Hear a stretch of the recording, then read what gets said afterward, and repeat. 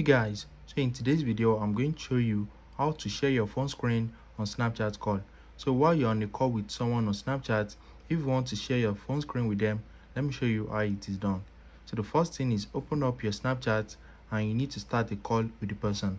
You can make use of video call or audio call. So i'm going to advise you to make use of audio call because it's going to be faster and it's not going to be laggy. So just start a call with the person. So i'm going to call this other person and now while you're on the call let me mute the audio. While you're on a call with someone on snapchat you can just click on this to share your screen. You can share on iphone and you can share on android. So just click on it and you need to click on start now. As you can see i am now sharing my screen on android. If you want to share from iphone so just click on stop sharing. If you want to share from iphone click on your screen and click on this icon. After that click on start broadcast and it's going to load for three seconds. And now your screen will be shared with the other person. As you can see. So if you found this video helpful smash the like button and subscribe